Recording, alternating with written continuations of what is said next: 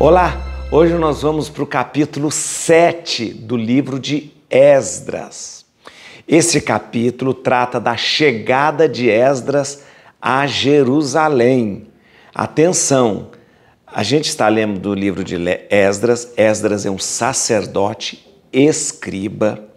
Nós estamos tendo aqui a, a, a, toda a história contada a partir de Esdras Esdras, quando o povo vem da, do exílio da Babilônia, mas o Esdras, o Esdras mesmo, ele só vai chegar em Jerusalém no tempo do rei Xerxes.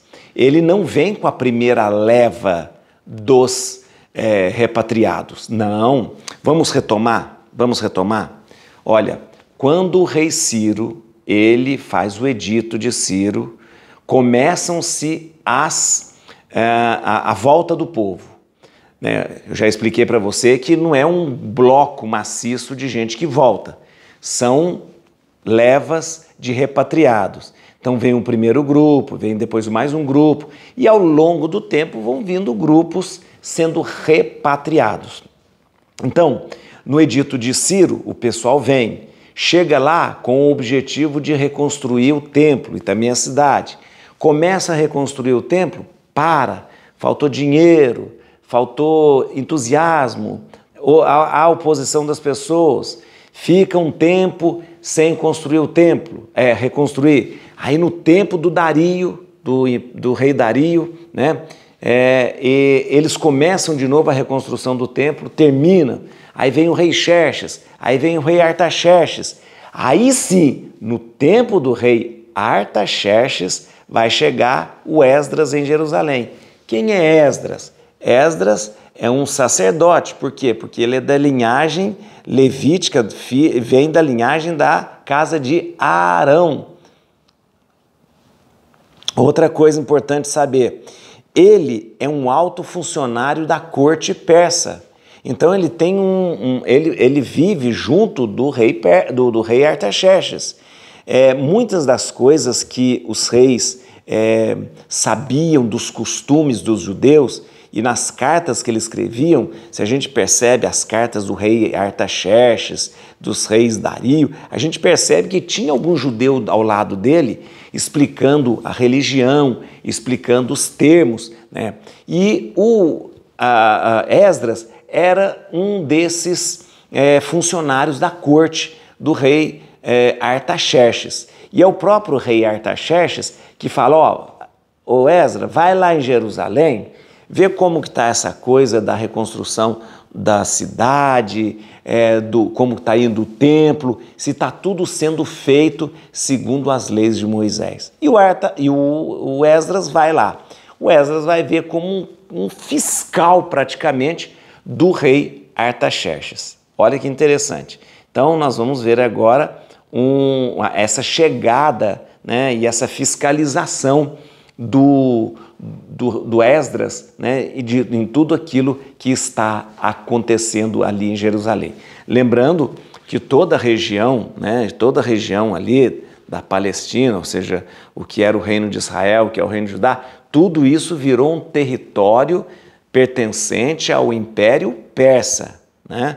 Lembra que o Império Persa que pegou? A parte da Pérsia mesmo, né? depois a parte da Babilônia, a parte da Assíria, né? ali perto do Líbano, e desceu ali até a, a região é, da Palestina, ali, daquilo que os israelitas haviam, é, onde os israelitas estavam morando. A, tudo isso virou Império Persa. Então, o povo agora, né? o povo agora, Jerusalém está agora sob o domínio persa. Mas os reis persas eles são muito condescendentes com a religião dos outros povos e eles permitem então que o pessoal viva é, a sua religião e a sua fé. Ok? Você vê, né? O, o, o povo de Deus ele sempre vai estar sob o domínio.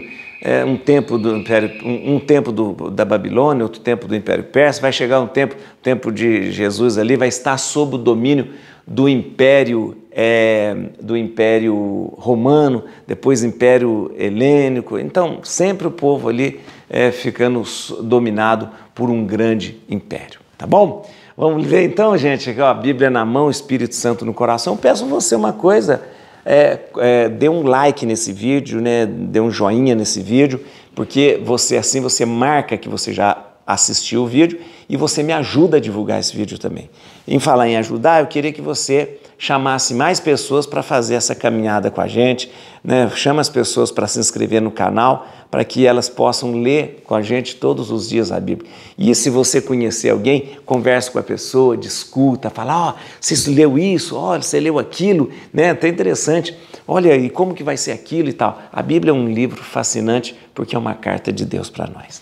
Vamos ler então, tá bom? Chegada do Esdras, né? E agora estamos na época do rei Artaxerxes.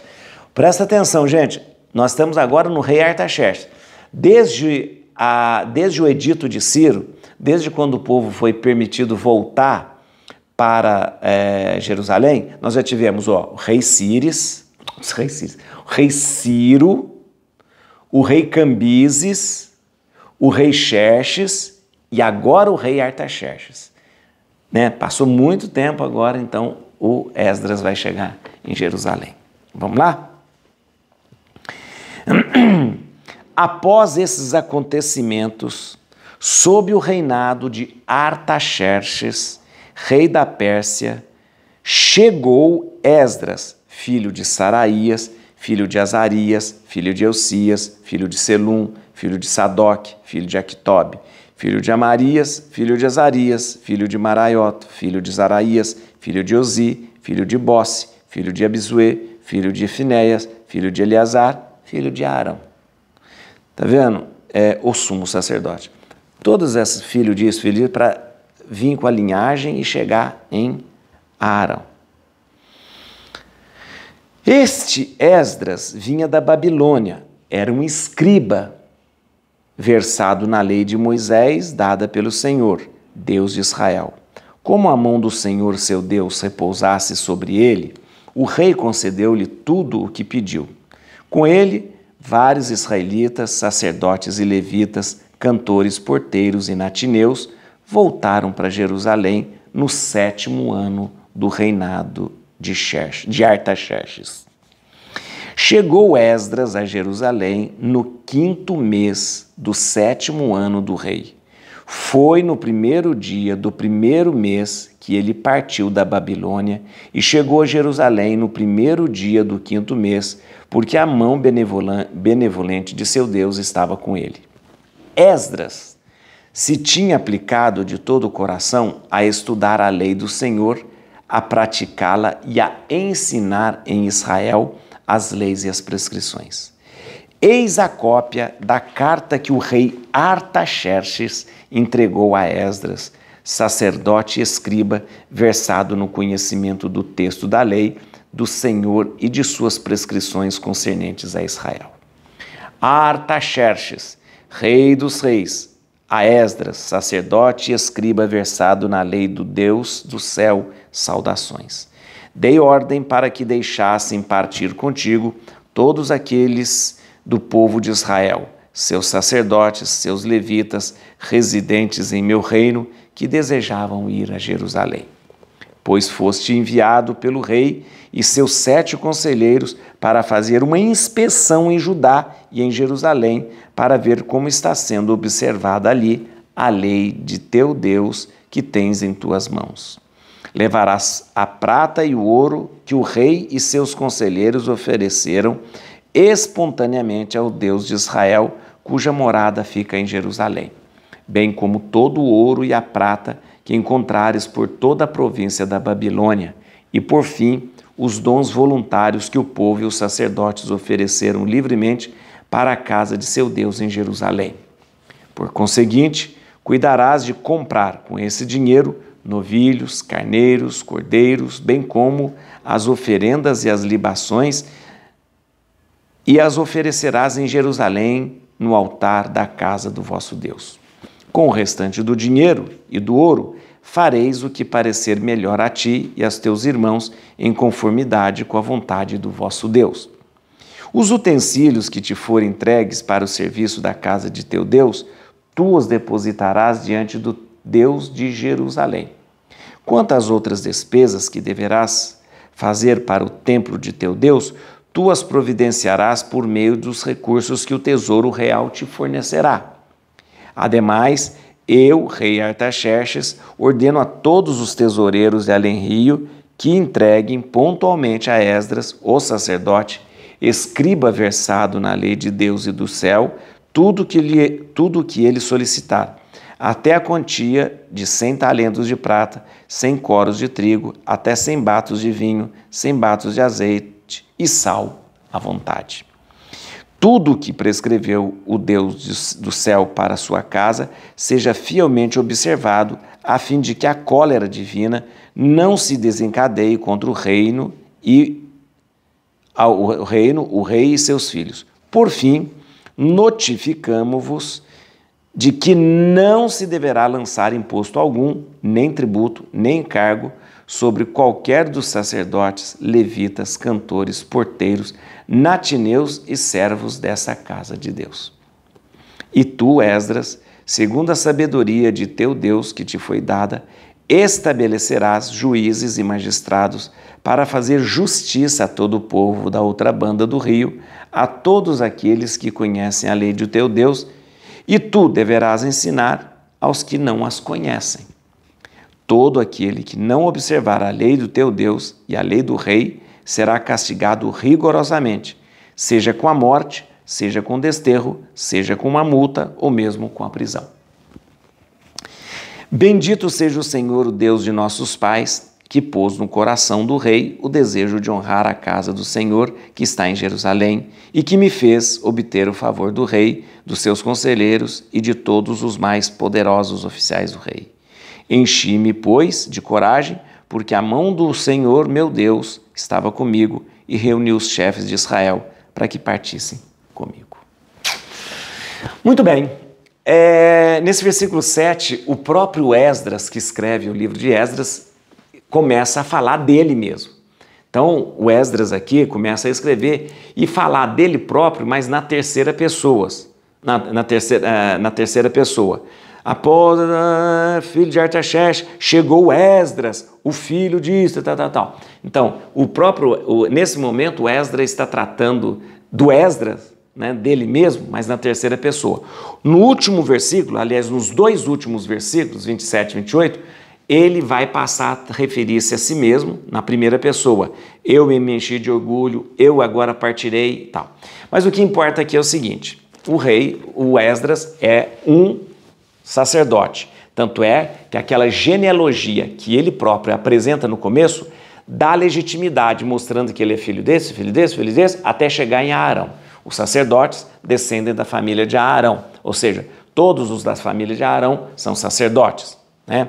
Muito bem, ele é um sacerdote, mas é também um escriba que estuda a lei, que aprofunda na lei. É também um funcionário do rei Artaxerxes. Ele é um funcionário. O rei Artaxerxes né, dá ordem e permissão para ele partir com levitas, co, é, levitas, sacerdotes, coro, é, natineus. Quem que é os natineus? Natineus, ou então doados também, são os chamados servos de Salomão. Lembra que eu já expliquei para você? Os servos de Salomão são aqueles que, é, que eram até estrangeiros e tal, que foram dados como auxiliares dos levitas para as funções do templo. Então, ele pegou essa turma e falou, eh, sob ordem do rei, falou: vai para Jerusalém, lá você vai Primeiro, fiscalizar se tudo está acontecendo segundo a lei de Moisés. É, é, e depois você vai fazer o seguinte: vai ensinar a lei para muita gente que não sabe ainda, porque afinal de contas foram 70 anos que o povo praticamente perdeu o contato com a lei, com a religião. Então, vai ensinar para esse povo a lei, a religião, tudo que é necessário. E o, o, o, o Artaxerxes escreve uma carta, uma carta muito interessante, dizendo: ó, é, este é o Esdras, praticamente Esdras está indo em nome do rei Artaxerxes para lá, e, e o rei, na carta do rei ele garante tudo: garante o ouro, garante é, o dinheiro para que ele possa ir além das ofertas voluntárias que as pessoas vão dar, e ainda garante, garante o seguinte, que seja provido lá dos impostos do além-rio, ou seja, lá das províncias que estão lá em Judá e Jerusalém, que aqueles impostos eles possam prover, possam prover é, é, todas as necessidades que eles têm, inclusive comprar novilhos, bezerros, touros para os sacrifícios e holocaustos. E tem mais uma coisa, na carta do Artaxerxes, ele isenta os sacerdotes, os levitas, os cantores, os porteiros e os natineus, todos aqueles que estavam a serviço do templo, de pagar imposto. Então, esse pessoal estava isento do imposto, ou seja, eles estavam ali para o serviço do culto. Ou seja, em determinado momento, o, Esdra então parte com todo esse pessoal sob o reinado de Artaxerxes e vai para Jerusalém. E ali em Jerusalém nós vamos ver é, o Esdras, que além de fiscalizar tudo que está acontecendo, ele também, ele também começa a ensinar a lei. Mais uma vez eu explico para você, é muito importante. Os reis persas, eles têm uma maneira totalmente diferente de dominar ou de conquistar. Eles não queriam ser vistos como conquistadores, mas eles queriam ser vistos sempre como libertadores. Porque quando você conquista um povo e se impõe sobre esse povo, é, proibindo as suas tradições, proibindo a sua religião, o povo começa a ter aversão pelo rei. E esse rei pode cair a qualquer momento pelo ódio gerado no povo. Os reis persas, eles fazem o contrário. Eles não são vistos como conquistadores, dominadores, mas como libertadores. Então eles vão, eles incentivam o, seu, o povo onde eles dominaram a ter as suas religiões. Por exemplo, eles vão para a Babilônia, vai, tem os seus cultos aí na Babilônia. Vai para a Síria, faz os seus templos na Síria, tudo bem. Vai para Jerusalém, faça o seu templo em Jerusalém. Ou seja, eles caem na graça do povo. O povo fala: olha como esse rei é bonzinho, ele deixa a gente ter a nossa fé, ele deixa a gente ter a nossa religião. Então, isso, politicamente, é algo muito interessante. E os reis persas fazem esse tipo de coisa. Ou seja, nós temos aqui praticamente um delegado do rei persa, né? alguém que foi enviado pelo rei Artaxerxes para que veja como está tudo acontecendo e mais, para saber se o povo está feliz, se o povo está vivendo a sua religião, a sua fé.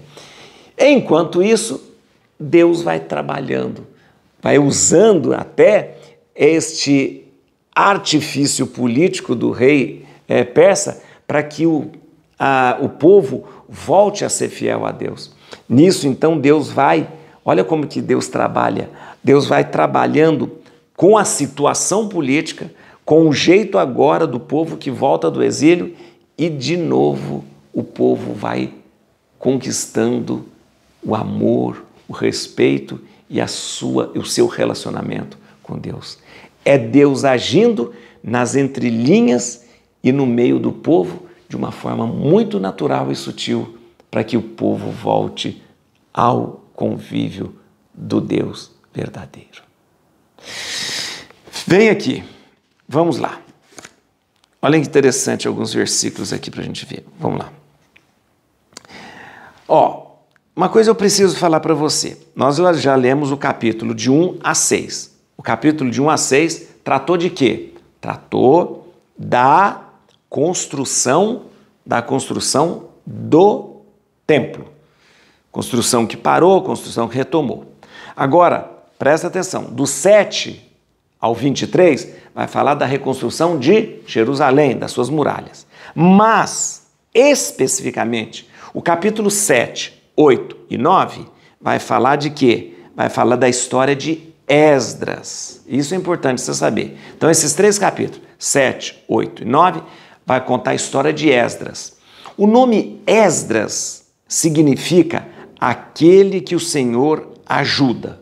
Aquele que o Senhor ajuda. Esdras é um sacerdote e é também um escriba. Então é importante lembrar disso. Capítulo 7, 8, 9 fala da história de Esdras. Versículo 6, vem cá comigo. 6, 6, 6, não está 6. Ah. Este Esdras vinha da Babilônia, era um escriba, versado na lei de Moisés, dada pelo Senhor, Deus de Israel. Como a mão do Senhor, seu Deus, repousasse sobre ele, o rei concedeu-lhe tudo o que pediu. Né? Então o rei, ele ia pedindo e o rei ia dando, ia dando. É importante lembrar que Esdras aqui era um alto funcionário, um importante funcionário da corte persa. Né? Ele era um escriba ágil, né? muito inteligente, conhecedor das escrituras, tanto é que é Esdras que assessora o rei nos, na, nas questões religiosas em relação a, a Jerusalém, né? E ele é muito zeloso no ensino. Então é um homem muito bom mesmo. O rei tem ele em alta conta, o rei tem ele ali, e o rei, ele chega para o rei e pede várias coisas, o que o rei vai dar: dinheiro, ouro, prata, é, os impostos, tudo para que ele leve isso para Jerusalém e possa mostrar como o rei é bom. Tá bom? Versículo 12, olha aqui, 12. Artaxerxes, rei dos reis, a Esdras, sacerdote escriba versado na lei de Deus do, céu, saudações. Assim começa a carta que Artaxerxes envia, envia a Esdra, praticamente uma carta que dá a Esdra todo este toda essa delegação, né? A carta de Artaxerxes, presta atenção, essa carta abrange duas ordens, duas ordens. A primeira é é, uma ordem a Esdras. Esdras, faça isso, isso, isso. Quero que você fiscalize, quero que você veja se está tudo acontecendo segundo a lei de Moisés. Quero. E a outra ordem destinada aos tesoureiros. Olha, tesoureiros, dei o dinheiro necessário, dei a prata necessário, dei o dinheiro do imposto para que possa ser feito os holocaustos, os sacrifícios. Então, a carta ela tem uma, um duplo direcionamento para Esdra e para os tesoureiros.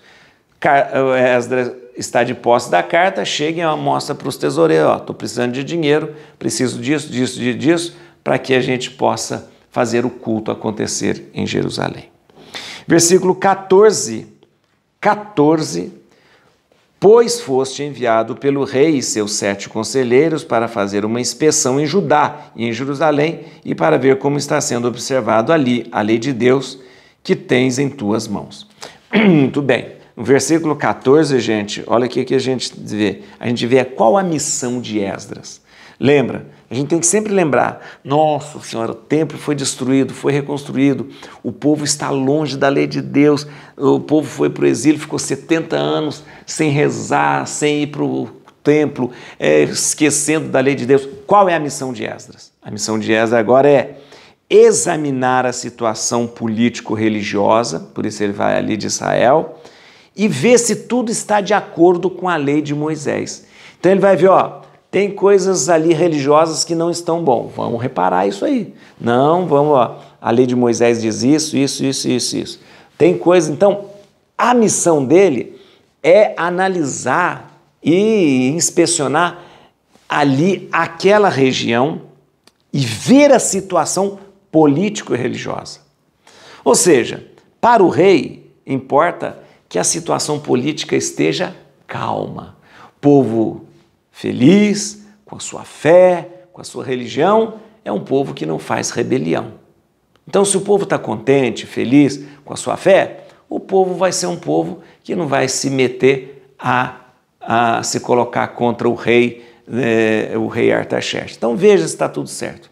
Mas, por enquanto, Deus está trabalhando no coração de Esdras, do povo, justamente o amor e a volta as tradições e aquilo é, que possa ser, e aquilo que é a lei de Deus. Né? Versículo 18, vem cá. que ainda a carta do rei Artaxerxes. Com o restante do dinheiro e do ouro, fareis o que parecer melhor a ti e aos teus irmãos, em conformidade com a vontade de Deus. Olha, ofereceu dinheiro, ofereceu prata, ainda ofereceu o dinheiro dos impostos, e o dinheiro excedente será empregado conforme a lei que, que a lei manda fazer com esse dinheiro excedente? Então, ordem do rei Artaxerxes. Aí, gente, O, o, o vai falando, falando, falando, falando, falando, falando dele mesmo, da carta de Artaxerxes, sempre na terceira pessoa. Quando chega aqui, ó, versículo 27, Bendito seja o Senhor, o Deus de nossos pais, que pôs no coração do rei o desejo de honrar a casa do Senhor que está em Jerusalém, e que me fez. Aí o Esdras já começa a falar dele mesmo. Me fez obter o favor do rei, dos seus conselheiros, de todos os mais poderosos. Enchi-me de coragem e parti com o povo. Parti com o povo. Aqui Esdras fala de si mesmo na primeira pessoa e fala: é, reuniu os chefes de Israel para que partissem comigo e Esdra parte indo para Jerusalém. Então, nos próximos capítulos, vamos ver mais ainda a história de Esdra, este grande sacerdote, esse grande escriba que Deus está usando para restaurar Israel. Et crutim domine, fugit partes adversas, vite deleo de tribiuda, radix David. Aleluia.